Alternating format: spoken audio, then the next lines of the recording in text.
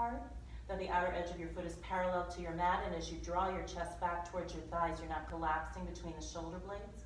There's some broadening. And then on the next breath, inhale.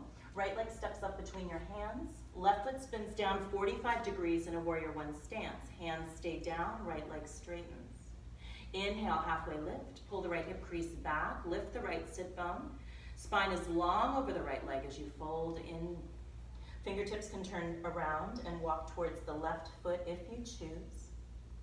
Right hip crease continues to draw back. Feel as though you're drawing your chin towards your shin rather than your forehead towards your knee.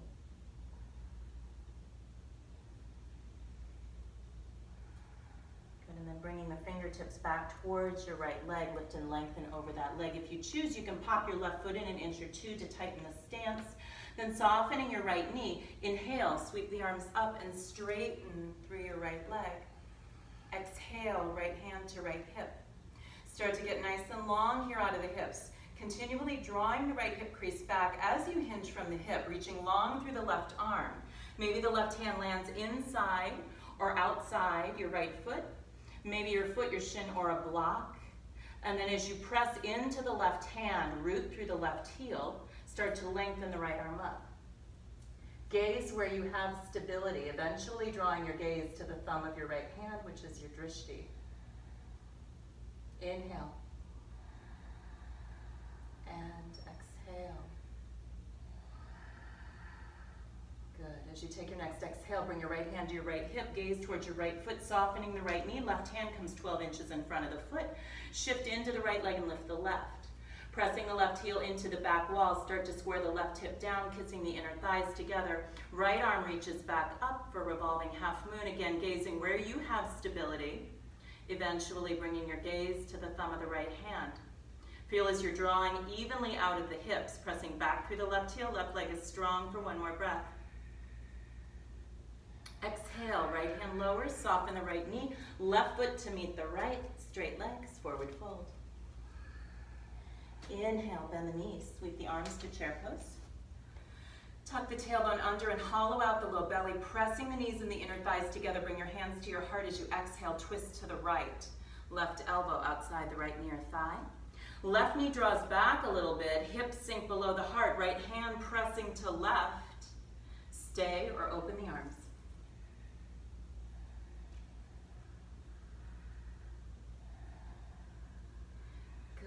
Hands come back in. Release the left elbow, unwind and fold. Inhale, halfway lift, draw the heart forward. Exhale, hands down, step or float back. Take a vinyasa.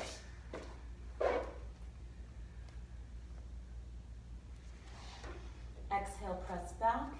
Inhale, left foot steps between the hands. Right heel spins down, left leg straightens. Back foot's at 45 degrees. Halfway lift, inhale. Draw the left hip crease back, lift the left sit bone and fold in on the exhale. Fingertips to the right foot if available. Keep drawing the left hip crease back, lifting the left sit bone, chin to shin on the left leg. And then turning the fingertips back around, lengthen over the left leg. Maybe you draw the stance in an inch or two, softening the left knee, sweep the arms up on the in-breath, straighten through the left leg. Exhale, left hand to left hip. Draw evenly out of the waist. Extend the tailbone towards the right heel. Hinge at the hip, flat back. Right hand lowers to the inside or outside of the left foot. Left hip crease draws back, left arm reaches up. Again, gazing where you have stability.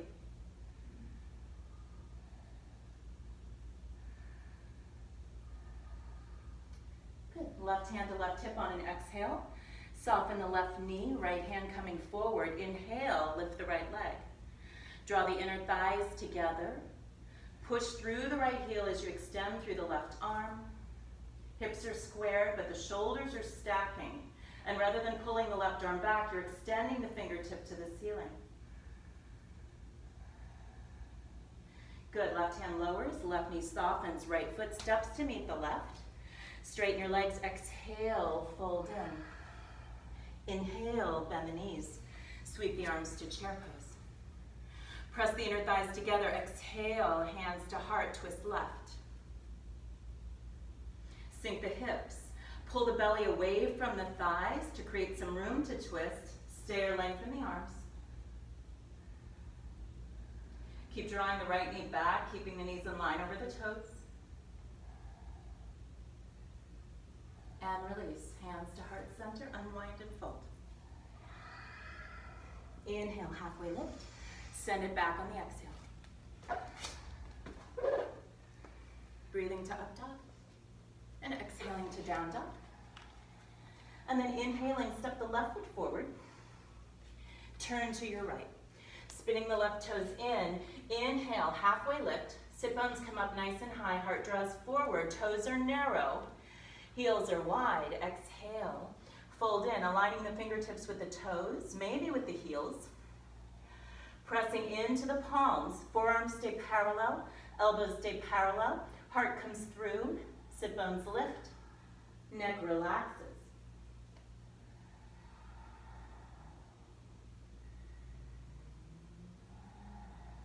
Breathing in, halfway lift, flat back. Hands come to hips, exhale to stand. Inhale, arms up. Feel the spine come up out of the hips. And then keeping the spine long, release your hands to the lower back, catch a bind. Good, drive the knuckles down and lift the chest. Press the hips forward for just a moment, opening through the front of the body. And then exhale, pull the hips back. Lead with your heart as you fold with a flat back, arms come overhead.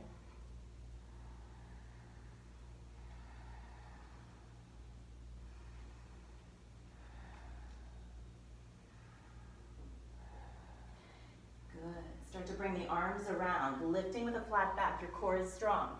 Release the hands, sweep the arms all the way up. And then exhale, swan dive down. Take your peace fingers to your big toes.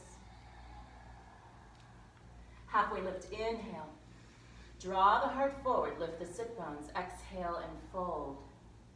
Use the bind to draw yourself down. Elbows out to either side, collarbones expanding. Bring some weight into the balls of the feet. So tip forward just a little bit and then pull against the bind. Good. Inhale. Halfway lift. Release the hands under the shoulders. Start to bend your right knee and walk towards the back of your mat. Coming into a low lunge, set your left knee to the floor. Come to the top of the left foot. Start to melt the hips forward, right knee over right ankle. When you're ready, inhale, arms up. Good. Exhale, melt into the hips, but tuck the tailbone and draw the low belly in. Feel the left hip flexor open, but support the low back. Straightening the spine. Inhale, get long over your right leg.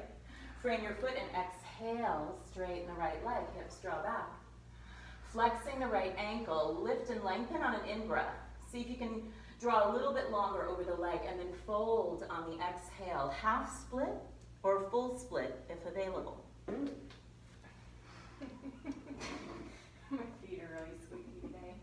Yeah, right. Mm-hmm.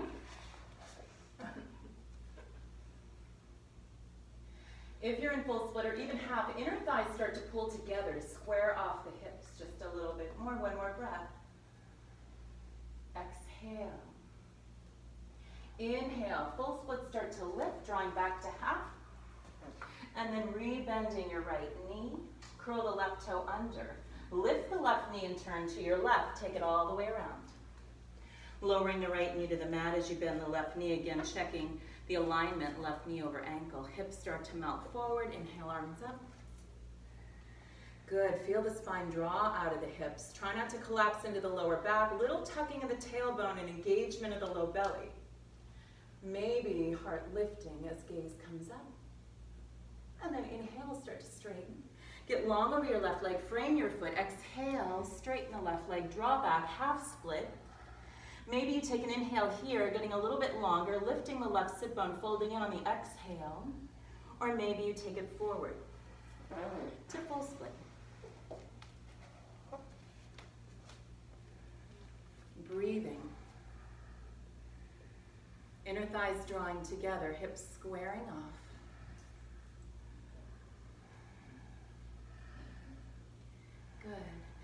down, coiling through the core to bring the hips back up. Full split comes back to half, and then shift forward again into your lunge, framing the left foot. Left foot steps back. Take your vinyasa. Inhale and exhale.